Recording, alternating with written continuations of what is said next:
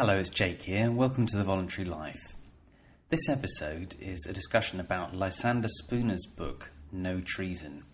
And it's really more of a recommendation um, than an in depth discussion. This book uh, is something that I only discovered relatively recently, and it is a wonderful book. It's really something that, if you have had um, discussions with people about the social contract, um, and about your obligations to society, whatever that is, and you've thought about what that might mean, you might notice that the terms used in discussions about the social contract are kind of legal terms, a contract, for example. And reading Spooner's book, No Treason, is really like reading something from your lawyer. Uh, Spooner was a lawyer himself, and this book is sort of a legal assessment of all of these claims that have been made about your obligations. This is your lawyer telling you whether or not you have to take this seriously. The book was written in the 19th century and it's a critique of the American Constitution, which, I mean, if you are interested in the idea of limited government, the American Constitution itself is often considered to be, you know, one of the best examples of a written constitution defining separation of powers and this, that, and the other. So, reading this critique of one of the clearest constitutions or social contracts is very applicable to every other state, which um, has even less clear constitutions. In the case of the UK, um, no, no written constitution.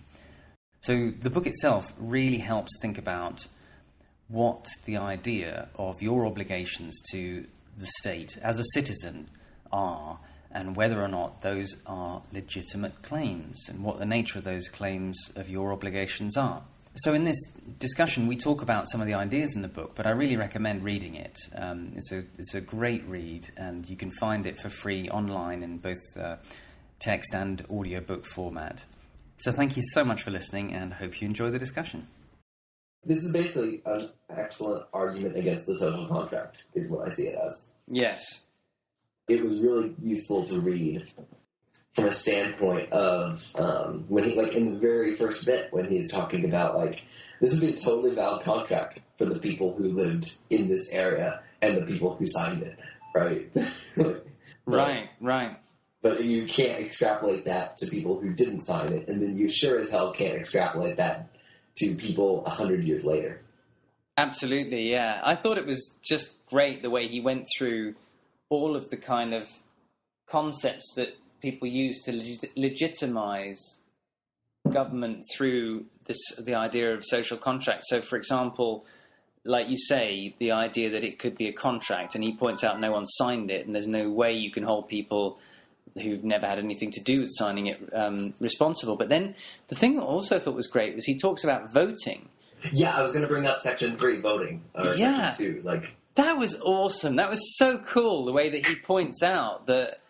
Because he keeps all the way through, he keeps reiterating that government is a secret band of robbers and murderers. Uh-huh. And then when he talks about the fact that people vote in secret and how, like, that that itself like you ought to you you know that that should make you wonder like what kind of fishy fishiness is going on because I I remember you know the idea that oh well you know secret ballot is so that you don't get um, you know bullied into voting one way or the other, but he's pointing out that there's no way that anyone in a government could ever say that they represent anyone because they don't know who voted for them. They can't point to them. There's no contract. It's not like there could ever be a valid contract between the voters and the representatives of government anyway, because there's this kind of bizarre secret um, crossing your name in a in a booth thing going on, and then obviously all the arguments about it's it's never um, it's never actually you know um, everyone voting for it anyway. It's a, a, kind of random bunch of people and different different people each year, and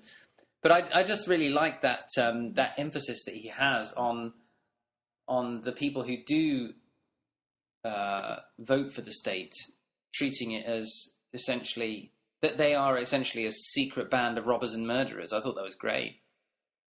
Yeah, I mean the, that section, the voting section, but just like concise argument after concise argument, rather than just a bunch of hist- like you read a lot of these libertarian books and it's just a bunch of historical facts, and you read a lot of these libertarian books and it's just like one big grand unifying theory. And this guy didn't do either approach. But Lysander Spooner didn't. He it was like a lot of concise arguments that built up to one large argument, but it wasn't. It was it was it was a modest book, and I think that's really good. Well, I thought it was um, the, the the things that I really enjoyed. He makes two like he he kind of attacks it on two grounds. One is that he he really does say there is no such thing as the state, and that there are no there's no such thing other than individuals. And I've listened to a podcast by um, Wendy McElroy. Oh, really? Yeah, She is fantastic. She's great, yeah, and she's done a really interesting one about the 19th century um, individualist anarchists. And she says that one of the things about them that was really good was that they were very much um, methodological individualists, and that that term meaning that they only accepted that any social theory has got to be about people, individual people. You can't start appealing to some kind of you know concept because concepts don't really exist. And this is obviously what Steph keeps saying as well. And the other point that he makes, which I think is really cool, is that he goes full on with the argument for morality, and he just absolutely digs right in there. I mean, the fact that he keeps using you know, he keeps directly calling them a band of robbers and murderers. It's just so cool. I, when I was reading it, I was like, yeah, you know, hmm calling it by its real name. And and I would be. I would love to hear more about Spooner's personal life. Like, like I would love to read a bio, a good biography of Spooner, because he seemed like a really interesting cat. Like, um, he, uh, like he. You heard about his post office endeavor, right? Yeah, that he decided to take on the post office. Yeah, and then they just completely shut him out. Amazing, amazing. And I get the sense that um, oh, by the way, the um, the if you want a, a good biography, the one that's on the um, the one that um, Jeff Riggenbach did that podcast on him. Have you heard that? Uh, no, I haven't. That would be Um, cool though. Yeah, on the libertarian heritage thing, there's um, a podcast by good old Jeffy Boy um, where he talks about Spooner's Spooner's life, and it, it is fascinating. I mean, the guy was like a total swashbuckler. I mean, he was constantly like doing things like setting up a post office to to compete with the um, with the state system in order to demonstrate that it was crap, and it really worked, and that's why they shut him down. And he also he um, he qualified as a lawyer. Like he was, and, and he came from a, like a pretty poor background, but somehow got taken in by I don't I can't remember what it was, like some uncles or something like that. And essentially, he he got somebody noticed that he was really bright, and he was kind of like I think he was like an assistant in a legal office or something when he was in his when he was like a, a, a kid, a teenager, and basically he learned to become a lawyer and trained, and he he was able to practice by the age of I don't know twenty one or twenty two or something like that. But they had some kind of stupid um, protective law in place in Massachusetts that you weren't allowed to be a lawyer until you'd done like I don't know ten years this or six years that or whatever. And so he went and challenged the um, the kind of um, the guild or whatever, and the effectively the lawyerly trade union for the right to practice at his age. Hmm And so, I mean, the guy was constantly attacking mercantilism and statism, and of course, he was an abolitionist, and he was like really clear on on um, on the the horrors of the American Civil War and the immorality of of, um, of the hypocrisy of uh, of what the North was saying it was about. As you could saw that in, in No Treason as well. So I think the guy was really interesting. I don't really know, you know, what I don't know the background of like, did he have a family and how did that kind of thing work? But um, certainly in his kind of career life, he was just like a total swashbuckler. And not only that, but apparently the individualist anarchists were great experimentalists like this. Like Spooner set up his own post office. And one of the other ones, I don't know if it was Tucker, I think it was one of the other ones, um, actually set up a shop where he was trying to prove the labor theory of value because unfortunately they were a bit hung up on the labor theory of value, these 19th century individualist anarchists. They thought that lending money for interest was wrong. Um, and this guy set up a shop where you exchanged labor dollars, which brought you an hour of time in somebody else's profession. And he did all of this, like basically to try and prove his theory. So they were they were at least great experimenters, you know. They were actually trying to to do it in their own life to show that it worked. You know what I mean? Right, right. I guess it, you know, because the postal service was effectively the, the internet of the day. You know, so you you it'd be kind of stupid to try and set up a, postal service now, but in in that time, it would be like him setting up um, a um, an encrypted file sharing service or something like that. You know. Right, right. That makes sense. The thing I was going to just mention was, I mean, I, I really enjoyed the moral clarity of it. I really enjoyed the um, the fact that he point had such philosophical clarity as well. I think it's really well written, and I think it's also got a great sense of um, of humor. Or I mean, I don't know if humor is really the right word, but just it's just a, a really spiky text. You know, it's kind of kind of a pleasure to read because because he's spot on and he has absolutely no fear about um, just stating his arguments completely sort of squarely. You know, he doesn't mince his words, and I enjoy that. Right. Um, but I did find the uh, the last chapter was kind of uh, a little bit of a letdown. I thought just so? well, it was interesting, but he ends up saying like, so who owns the state after all? And he comes out that the people who really own the state are the ones who lend it money, and these would be like the banks, or the bankers, and so forth. And why do they own the state? Well, because when they lend the state money, the state has the money to buy more soldiers to go out and rob more people of taxes. Um, that's perpetuating the cycle, right?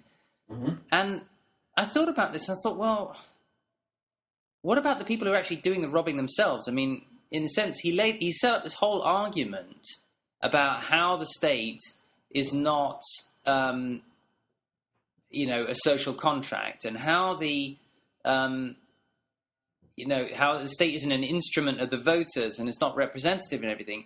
But then he ends up sort of saying that, you know, it's the smoky filled rooms with these bankers who are kind of controlling everything. I was thinking, well, why don't you just say that the guys who are the soldiers and the politicians and the tax collectors that they're the ones who are the gang, right? Because Right, I mean, without them, the, state wouldn't exist either. right, exactly. And I think the reason is that um, they had this thing about lending. They had this labor theory of value about lending for Mm, So that was already already had a few points against it. Right. He because he wanted to, but in a sense, he he was a little bit tangled up with needing to demonstrate that lending money interest leads to all the bad things in the world, and I think he therefore kind of puts quite an emphasis on that. I mean, because I would say that those people are enablers of the state. If anything, I would say rather than the the, the bankers being the real state, if you like, I would say they are the enablers of the state because the real state is just the guys in costume taking your money and shooting people and you know calling uh, and using your money right the, the, the guys who are actually uh, to use that lovely um, video of the onion i don't know if you've seen it pouring money into the big money hole yeah i just thought that was a little odd his sort of take on it at the end there Right. Well, also another thing I just thought of with regards to the um, the, the lending money thing. Let's just say the lending money. Let's just let that. Let's give them that. Right. Even so, I mean, without the people stealing the money in the first place, the government would have no collateral with which to get the loans. Let's just say we've got a government, the city of London, that has I don't even know how much they make a year in in, in uh, taxes. Let's just say two hundred million pounds a year. I'm just throwing out a number, right? In in tax revenue, yeah but they're borrowing like five hundred million this year. Yeah Well, no bank would lend them that if they didn't already have the the revenue that they were stealing from, right? So Yeah. that even if we accept that the that the lending of the money is bad, well, no bank in its right mind would lend money if there were if you, you get what I'm saying? Yeah, absolutely. It's like you can't really blame the. Um, in a sense, I understand that you know, for example, let's say that you have an alcoholic spouse. Let's call it the guy, just for simplicity, right? Uh, and he's like alcoholic and drinking himself into an early grave, or whatever. And his wife keeps like agreeing that they can spend money or spending, giving him the money to buy the booze, right? I mean, you can see that she's an enabler, but it's still him who's the alcoholic. Do you know what I mean? Right, right, yeah. I mean, even if even if um, you, he's got to be the primary responsibility for his actions, if, in that sense, right? Right. It doesn't mean that it's not a bad thing for her to be enabling it, but that's sort of the way I think about the lending money to the state. That it's still it's still the, the guy with the gun who's actually doing the the hold up, right? The guy Well, who's it's also like, the, like this thing that in the absence of an ethical framework in society, banks are just going to go on what makes them the most money, right? And Yeah. it makes total sense to lend money to the government at the moment, right? yeah, Like for them, like it makes total sense. So on many levels, on political levels, on economic levels, so like it just makes sense in utilitarian terms. And if banks were like ethical enough to understand that, then we wouldn't have a state in the first place. Because if banks get it, everyone else would get it. yeah, absolutely.